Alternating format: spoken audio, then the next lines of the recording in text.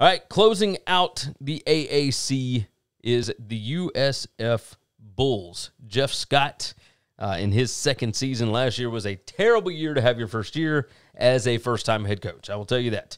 Went one and eight last year. They went four and eight the year before that. Charlie Strong's last season.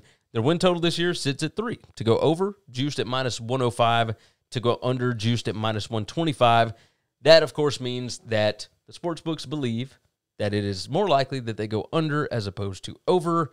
Uh, I'll go ahead and tell you, I tend to agree. Yeah, looking at the schedule, I do too. Uh, start out with at NC State and then hosting Florida.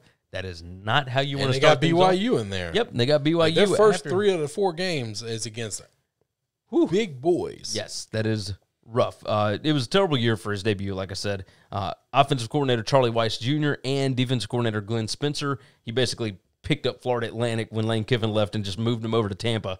Uh, but they didn't even have time to implement their defense and offense. Like they didn't. There, there was just no time.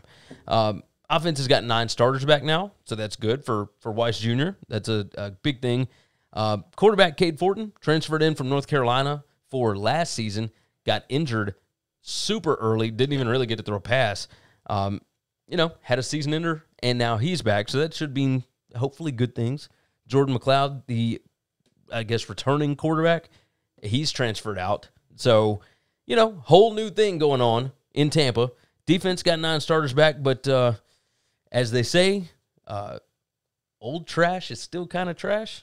Like not to not to completely crap on the Bulls here, but I, I do expect Jeff Scott to to do better going forward. I think that we'll be better, and I think he's going to recruit fine there. Everybody recruits in Florida. Yeah. Um, and, and this is a place where you can recruit and you can do well.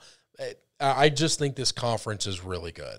yes. That my Yes. my argument for the teams that I have at the bottom are this conference has gotten significantly better, and they are either at the beginning of their new rebuilds, which puts them significantly behind the A ball. Yep. Or that they just aren't on the same level right now.